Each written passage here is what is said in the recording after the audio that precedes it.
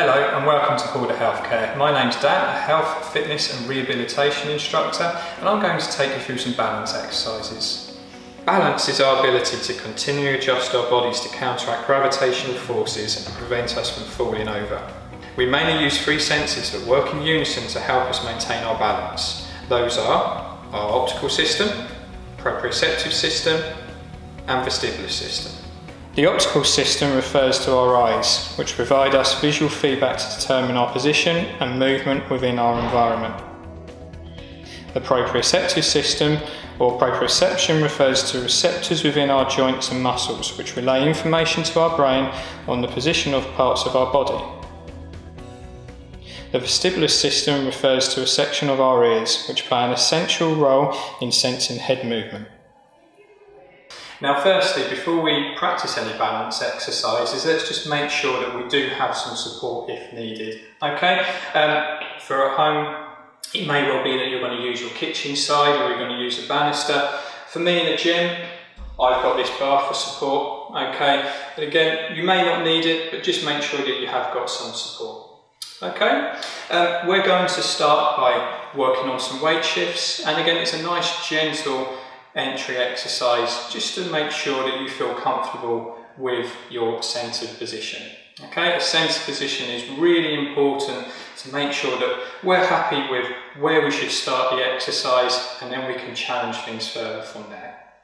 Okay, make sure that you're comfortable with your posture as well. Okay, it's very easy to get into a posture where maybe we're leant too far forwards or we allow our pelvis to shift too much so again, just give yourself a few moments just to make sure that you're keeping nice and upright, but you're also nice and relaxed as well.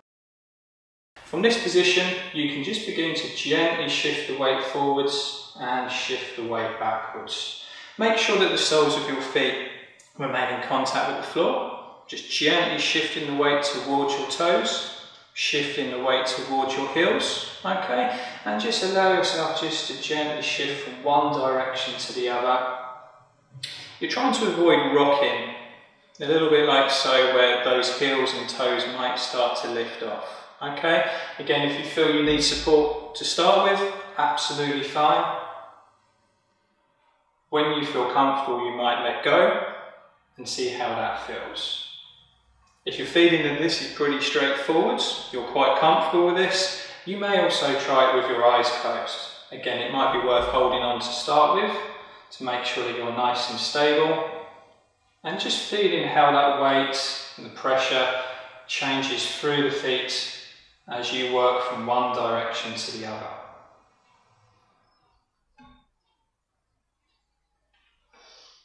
When you feel more comfortable, Again, with a nice stable stance, keeping that length through the body, we may start to just gently circle round as well. Again, you'll feel the weight and the pressure changes slightly in your feet. And again, it's an exercise that you can try with eyes open or with eyes closed. Notice how I'm working in each direction. So you may do a number of repetitions circling one way followed by the circles in the opposite direction. Then you're trying to avoid either those heels or toes lifting off of the floor as you gently circle round. As you get towards the end of the exercise, we're just going to reduce the size of that circle, spiraling back into that central position and again, to finish, make sure that the pressure through your weight is, and through your feet is evenly distributed. Make sure you're avoiding any excessive pressure on either your toes or your heels. Once you're more comfortable with your centre position and you're happy with your posture, we can try to adapt those feet positions in order to challenge the balance further. Okay, so we're going to start with an exercise called heel toe stance or tandem stance. Um, and that essentially means one foot being placed directly in front of the other. Okay, now again, just be aware of your support if you feel you need that to start with. Again, you can progress by performing this um, without support when you feel comfortable. Okay, now I've gone straight into a position where I've got one foot directly in front of the other. You might find that straight away this is quite challenging. So if that's the case, don't worry. Maybe just place the feet slightly further apart so it's more of a partial heel-toe stance. You need to find a position where, yes, your balance is being challenged, but you are able to stabilise the position. Once you feel more comfortable to challenge that position with one foot in front of the other, let's just make sure that we maintain that upright position. There's a nice relaxed position to the feet. Easier said than done, but if you keep that softness through your knees and that gentle length through your back, you'll tend to find you'll relax and react to any change in your balance. Once you feel more comfortable, you may decide to think about certain durations to hold that balance. So, for example, I might try to hold that position for 10 seconds.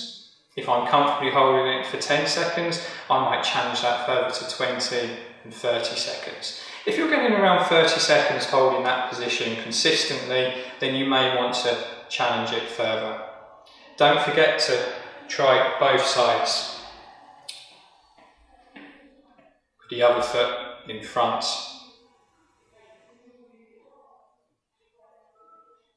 Now we might challenge that exercise further by bringing in those other senses. At the moment, when I have one foot in front of the other and I'm looking down the camera, I'm primarily using my visual system. Okay, and I'm able to use a fixed point of reference to help me with my balance. Now if I start to look from one side to the other, that exercise for me feels slightly more challenging. And now I'm starting to use my vestibular system more. Remember, moving your head from side to side. Suddenly I'm restricting my visual, my optical system by looking from side to side.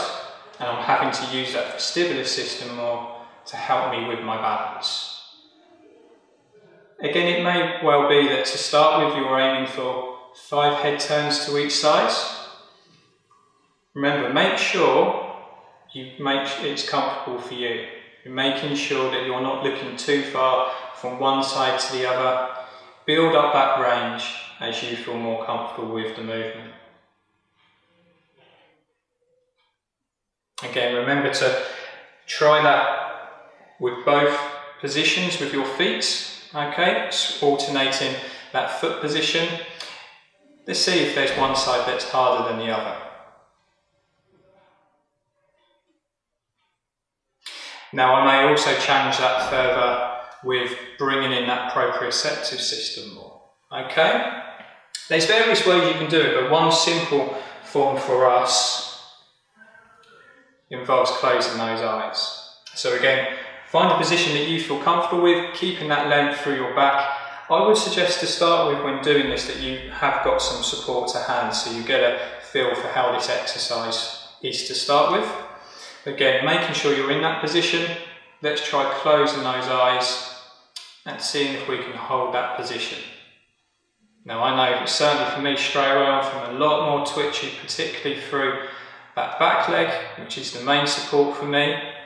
And again, it may well be that you're going to have a count to 10, a count to 20 to try and hold that position before you relax and try on the other side. Remember, Build into those stages and those changes as you feel more comfortable. When you're starting to feel more comfortable with the heel-toe stance, we may start to introduce some heel-toe walking, okay? A little bit like tightrope walking, okay, without the tightrope. Okay, again, it's, it's important that we've got some support, okay? And again, make sure that there's no, there's no obstructions, there's no um, bits of loose carpet or anything like that where you're practicing, okay? Make sure that you feel comfortable with the range you're working to. Okay, so again, I'm just going to give myself a moment just to make sure I'm nice and upright. I'm not allowing myself to stoop forwards, allowing myself to sway through the waist. Um, and again, placing one foot in front of the other. We're going to see if we can remain looking forwards, again, maybe with just a little bit of support to start with, and then gently bringing one foot in front of the other. Now to give you a little bit more feedback on what the feet are doing, it might be worth just touching that heel to the toes on the trailing leg as you walk through. So you're just aware of how those feet are positioned. Nice and slow as you turn around and walk back the other way. Okay, sometimes if you spin around you might just feel a little bit more disorientated, so let's make sure that's nice and slow as we start.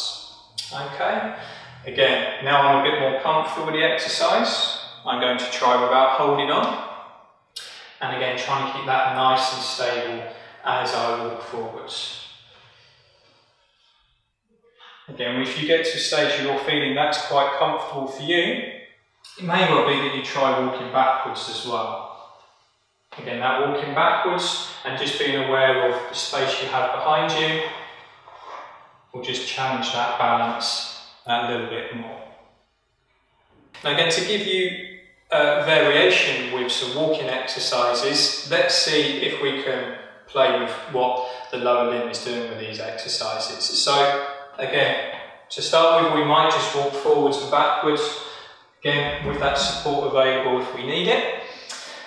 Um, and again, just to make sure that we're comfortable with our walking position as we go to and fro. Now, to make that more challenging, I'm going to use some support initially, lift my toes off the floor so the weight is fully on the heels. And then again, walking forwards, keeping those heels, or keeping those toes, sorry, elevated. Again, nice and slow as I turn around and then going again. Again, you might try this without holding on.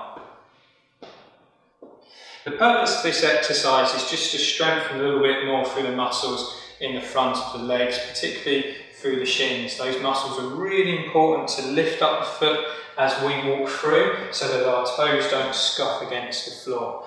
Again, a lot of instances of people falling over through those um, toes scuffing along the floor, maybe uneven pavements involved as we might include a trip incident.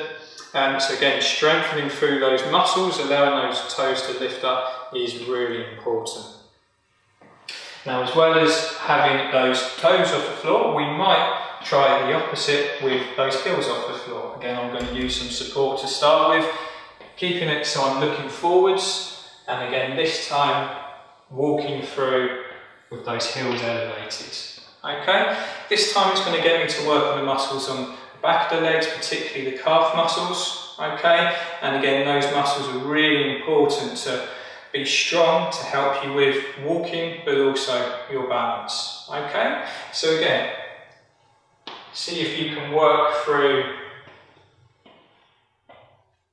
a number of lengths in that position. Okay, again, you can dictate how many lengths you're going to go through. Okay, but you need to work to a point where you're feeling a little bit more fatigued through those muscles so find a number of lengths that work accordingly for you. So the main exercise that we might associate with balance is our single leg standing. As you've seen already, there's a few other exercises that you can work on which don't involve single leg starts, but it is really important if we are going to improve our balance and our leg strength as well. Okay, again as always, we're going to make sure that we have some support available Okay, um, and to start with that single leg balance, again, it's making sure that you have that strength on the leg you're going to stand on. Okay, so again, just incorporating those weight shifts, maybe just a little bit more side to side now, just to make sure that the legs are comfortable. And then shifting that weight onto one leg, again, if you need to support, make sure you've got it. And from there, we're going to see if we can slowly lift one leg up and hold that position. Try to avoid positions where you're looking down at the foot. Again, you want to maintain a nice upright stance as you hold that single leg balance. Again, it may well be that you're going to decide a certain length of time to hold it. Again, 10 seconds is a nice round number to start with, but you might build out to those 20s, 30 seconds. Now obviously make sure that you alternate onto the other leg as well so that you are working a balance on each side. Okay, it may well be that there's one side that's much easier than the other to start with, but as you progress, you should find that there's a little bit more um, symmetry from one side to the other. Now, as previously, we might try to increase that challenge further by challenging those other senses. Okay, so again, when you're feeling more comfortable with your single leg balance, let's see if we can adopt that position, shifting the weight onto one leg, elevating the other side. Okay, and as previously, we're going to see if we can challenge that vestibular system a little bit more. Seeing if you can slowly look from one side, then over to the other. Straight away, I know this is slightly more challenging for me.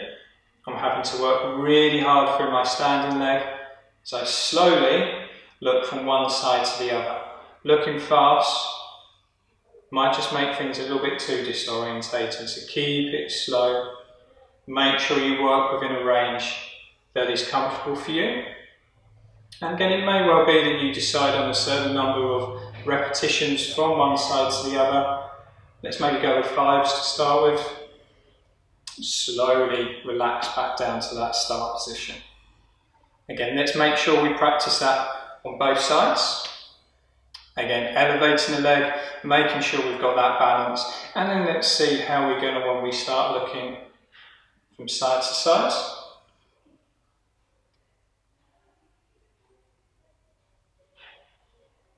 And again, making sure you work within a range that is more comfortable for you, you can start to look further when you feel you want to challenge things that little bit more.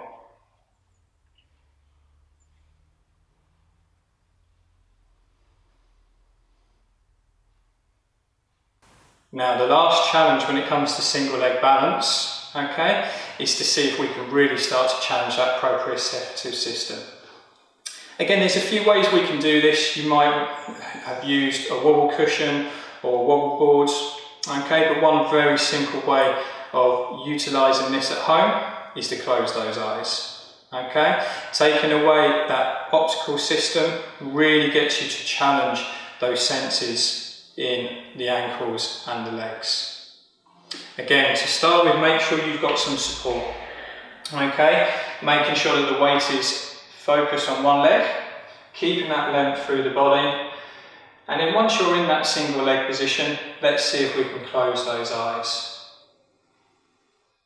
Letting go of support, you'll immediately find that's going to really challenge that balance. Okay? Again, if you can hold for five seconds to start with, that would be a really good focus, really good goal to aim for. As always, we're going to practice on both sides. Again, make sure you've got the support if you need it initially, holding that position and then closing those eyes. Let's see if we can hold that position. Again, as always, you might find this one side slightly harder than the other.